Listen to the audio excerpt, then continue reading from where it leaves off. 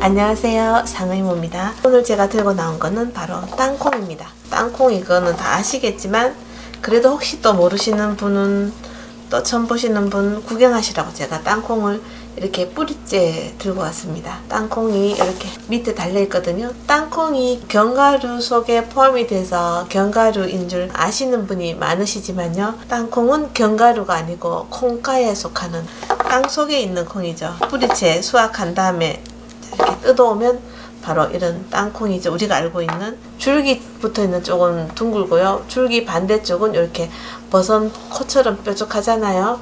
자 여기를 이렇게 뾰족한 부분을 손으로 꽉 누르면 톡 터지면서 잘 까지거든요. 이렇게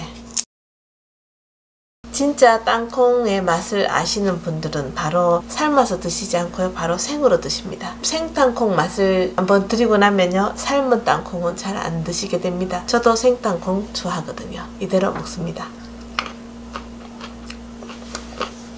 생땅콩의 맛은요 아삭아삭하고 맛있습니다. 한쪽 끝에 약간 비릿듯한 맛이 나긴 하는데요. 예, 처음에 한 개 먹을 때 비리지 한 줌을 먹고 나면 전혀 안 비리거든요. 생땅콩이 몸에 원래는 더 좋대요.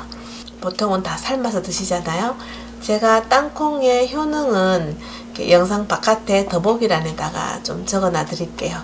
영상에서 다 말씀드리기는 땅콩의 효능이 너무 좋고요. 그리고 땅콩은 저는 오늘 이제 땅콩을 가지고 와서 물론 삶는 것도 해드리고 아니면 그냥 말려서 드시는 걸 보여드리려고 제가 이대로 가져왔고요.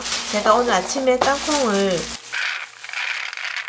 정말 어, 야간치고 좀 유기농으로 자랐기 때문에 좀 못생기기든 해도요. 땅 속에도 벌레가 많거든요. 출근하면서 수확하는 거를 보면서 바로 이거를 사면서 뿌리채 조금 얻어왔거든요. 씻는 거를 바로 가져왔기 때문에 지금 축축하게 젖어 있습니다.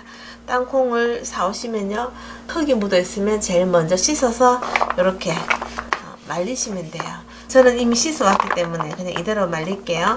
자 이렇게 저는 베란다에다가 이렇게 말립니다. 말리면서 하루에 20알 정도만 드시면 되거든요. 너무 많이 드시면 그 이상은 이제 살로 가주습니다. 딱 20알 정도면 아주 건강에 좋으니까 매일 드시면 좋고요. 불포화 지방산이 많으니까 진짜 진짜 좋은 거거든요. 이렇게 말려가면서 한 줌씩 한 줌씩 그냥 까서 그냥 매일 드시면 돼요. 그래서 저는 땅콩을 사오면은 이대로 그냥 말립니다. 말리다가 까서 그냥 계속 먹는 거예요. 마르는 동안에. 그래서 나중에 도저히 너무 말라서 못 먹는다 싶으면 그거는 까서 불려서 조림하시든지 또 밥에 넣으시든지 또 약밥 하시든지 하시면 돼요. 자, 이렇게. 요거는 제가 생땅콩을 말려서 이렇게 조림 같은 거 하려고 사놓은 거고요. 요거를 까서 까서 이렇게 해서요. 이런데 쟁반에 담거나 신문지 위에 깔거나 해서요. 말려 놓으시면 바로 여기 됩니다. 이렇게. 아니면 이대로 말려서 까시면 또 여기 되고 말리고 싶으실 때는 이렇게 하시면 됩니다. 말리기도 하고 삶아 먹기도 하고 한번 삶아 보겠습니다.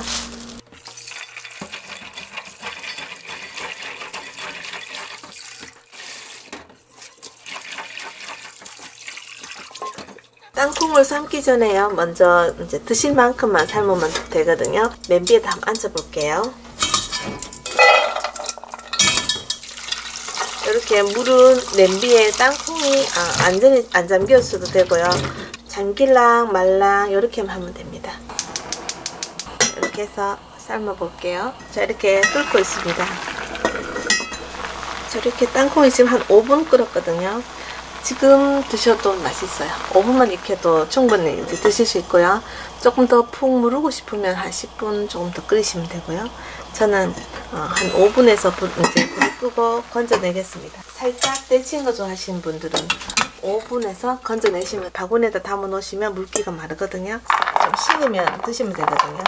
땅콩은 이렇게 쪄 먹으면 돼요. 물론 다 아셔서 잘 쪄 드시겠지만 그래도 땅콩을 주면 또 우리 젊은 분들 중에서 혹시 땅콩을 어떻게 먹지 하고 또 고민하시는 분 계실까봐 제가 땅콩 쪄먹는 거 보여드렸습니다. 텃밭처럼 가꾸시는 분한테 제가 샀기 때문에 이렇게 생겼습니다. 그래도 몸에는 좋으니까 땅콩을 보면 또 우리 또 옛날 또 운동회 생각나잖아요. 꼭 운동회 때 빠지지 않는 게 찐 땅콩이었는데요. 또 요즘 운동회를 운동회 하는 날 옛날처럼 도시락 싸가지고 안 가잖아요. 어, 이렇게 우리에겐 또 어, 그리운 땅콩 쪄먹기입니다. 상의모였습니다. 감사합니다. 어, 저는 이거 전부 다 나머지는 말려가면서 생땅콩으로 먹을 겁니다. 아 그리고 이렇게 찐 땅콩이 또 너무 많아서 또 어디 보관하기가 하면은요 쪄서 냉동실 보관했다가요 드시기 전에 또 꺼내서 다시 찌든지 해서 드시면 돼요 다시 찌실 때는 해동시키지 말고 얼린 상태에서 바로 다시 아, 쪄서 드시면 됩니다 자, 찐 땅콩을 한번 먹어보겠습니다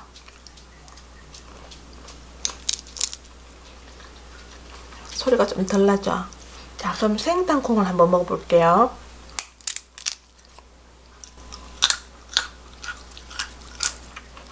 소리가 다르죠? 이게 생땅콩이 아삭아삭하고 맛있거든요.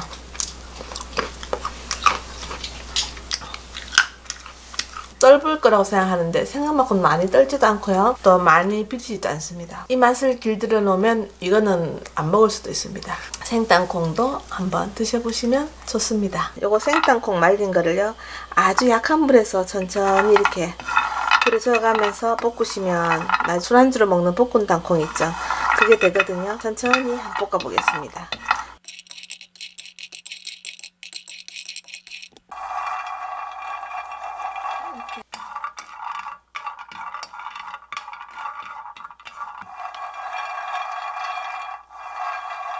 이렇게 계속 볶으면서요. 껍질이 이제 잘 벗겨질 정도 그리고 전체적으로 맛이 고소할 때까지 이렇게 고소한 냄새가 올라오면 다 돼가는 것 같아요. 한번 식혀서 껍질을 한번 까보겠습니다. 이게 이제 어느 정도 식었거든요. 한번 어 손 대니까 바로 부서지죠. 이렇게 이게 굉장히 고소하고 맛있습니다. 그냥 불에다 직접 이렇게 볶으니까 이렇게요. 껍, 껍질도 약간 검게 타고 속도 약간 노릇하게 이렇게 굽히거든요. 우리가 보통 사 먹는 그 땅콩은 굉장히 깨끗하게 볶아져 있잖아요. 그거는 바로 이렇게 어, 껍질째로 볶아서 그렇습니다. 이 껍질째로 이렇게 말려서 오븐이나 에어프라이기나 프라이팬이나 볶으시면 돼요. 아니면 껍질 까서 말린 거는 또 이렇게 볶으시면 되고요. 둘 다 고소하고 맛있습니다.